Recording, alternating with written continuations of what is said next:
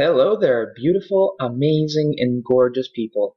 In this tutorial, I will teach you how to use PGP encryption, including how to get your own PGP keys, encrypt messages, and decrypt messages. If you don't know what PGP encryption is, go ahead and watch my other video, What is PGP encryption in 3 minutes. Let's get started. In order to use PGP, you first need to get your own PGP keys. So let's do that. There are several ways to get your own PGP keys, but I will show you the simplest way to do it. Go to the following websites.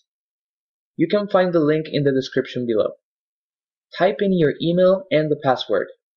To learn why you need an email and the password, just hover over the information icons. Once you're done, click on the Generate PGP Keys button. After that, you will have your very own PGP private and public keys. Save your PGP keys somewhere, because if you lose them, you will never be able to get them back. You can always get new keys. Now, let's encrypt the message. To encrypt a message, you first need someone's public key. Public keys can only be used to encrypt messages. Go to the following websites. Enter the public key of the person you want to send the message to. For this example, let's use our own public key because we want to send a secret message to ourselves. Enter the message you wish to hide. In this case, it will be, don't forget to subscribe to my YouTube channel.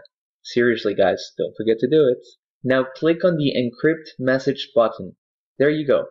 You have now encrypted a message and it's ready to send. Copy the encrypted message and send it to the person who will eventually read the message. Now that we have an encrypted message, we want to decrypt it. How do we decrypt a PGP message? That's easy. Go to the following websites. Enter the private key that we saved earlier, the password, and the encrypted message. Click on the Decrypt Message button.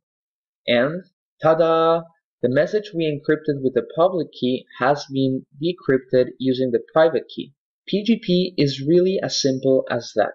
If this tutorial helped you in any way, please don't forget to like the video and subscribe to my channel as you will be helping me to create more useful tutorials. Thanks for watching.